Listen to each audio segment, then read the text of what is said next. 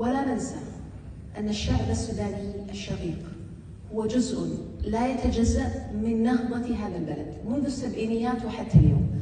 أنا آتيكم من وزارة الخارجية. معلومة لا يعرفها كثيرون. أن من أهم مؤسسي وزارة الخارجية كانوا وكلاء وزارة أتوا من السودان الشقيق. فكانوا هم الأساس في فترة التأسيس. ولذلك هناك سؤال يطرحه بعض الزملاء والدبلوماسيين الأصغر سنا. لماذا هناك تواجد وحضور كبير للأشقاء السودانيين سواء في وزارة الخارجية القطرية أو في البعثات القطرية؟ هذا هو السبب أنهم كانوا جزءا من التأسيس ولهم الفضل في ذلك.